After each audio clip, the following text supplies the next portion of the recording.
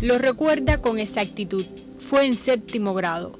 Se le ocurrió reescribir un cuento que había leído cuyo final no le gustó, solo que al terminar le quedó una historia totalmente diferente a la del inicio. Así empezó. He intentado incluso dejar de escribir. Es difícil, escribir es, es difícil. Pero me acosan estas historias me acosan y no puedo, no puedo hacer otra cosa que al final sacarlas de mí. ¿no? Este escritor guantanamero no cree en la inspiración, sino en el trabajo y la manera de dedicarse a él. La musa se invoca, no se espera por ella.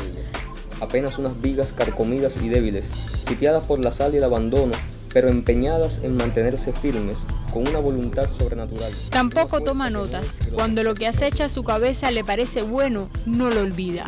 A veces he tenido una imagen nada más de, no sé, una persona, por ejemplo, caminando por un puente. Y esa imagen ha estado ahí, ahí, ahí, hasta que por fin logro ver quién es, hacia dónde va y de ahí sale el cuento.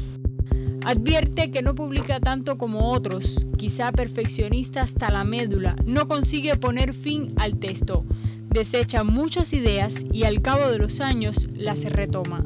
Tengo un puñadito de cuentos, no es ni siquiera mucho,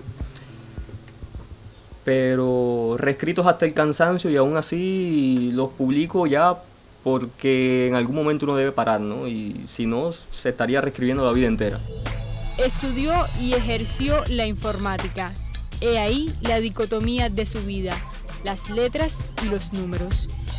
El algoritmo para hacer un cuento debe funcionar como estructura de reloj o ecuación matemática, todo en su sitio y sin cabos sueltos. Le cuesta hablar de su obra, aunque confiesa que ya escogió el desafío de escribir sobre la psicología de las personas de quien mejor se puede tener un buen juicio de uno mismo y solamente de los demás especular e inventar y crear o fantasear y ahí viene entonces la tarea del escritor, ¿no? Pero siempre todo parte de uno mismo. Un itinerario lleno de relieves lo condujo a la creación y ya no logra apartarse de esta. Cita a alguien y dice, escribo todos los días. Sin esperanza, pero sin desesperación.